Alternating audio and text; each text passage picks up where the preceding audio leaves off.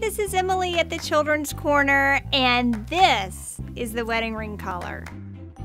The wedding ring collar is something that's been a part of our catalog for a long time, but it's been out of print. This collar is something that is certainly perfect for that very special occasion. Through this video, you're gonna learn so many techniques that you can translate to any of your heirloom projects. And then there's an entire segment that we're bringing in a guest teacher. Uh, Merl will be showing you uh, some beautiful hand embroidery techniques that are beyond basic. These are some really difficult hand embroidery that you're going to want to use across your projects. We are so excited to bring this to you and know that you're going to learn a lot.